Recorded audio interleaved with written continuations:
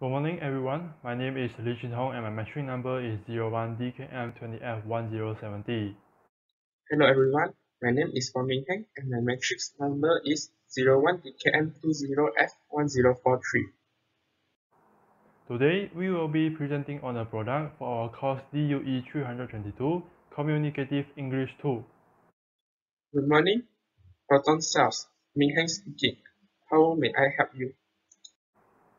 Good morning Ming Heng, I am Mr. Lee. I plan to purchase a car from Proton. Any suggestion please? Sure, Mr. Lee. May I know what car are you looking for? We have sedan, MPV and SUV. Oh, I am looking for a family car. No matter it is a SUV or MPV, I only concerned with the safety and comfortability of the car. Yes, the Proton X50 is our latest product and I'm sure it meets your need. I saw an advertisement of Proton X50 on the internet that highlighted its safety. Can you please share with me? Yes, Mr. Lee. How many airbags does the Proton X50 come with? The Proton X50 has up to 6 airbags and other safety features such as lane departure warning and blind spot information system. Is the Proton X50 suitable for city driving or outstation?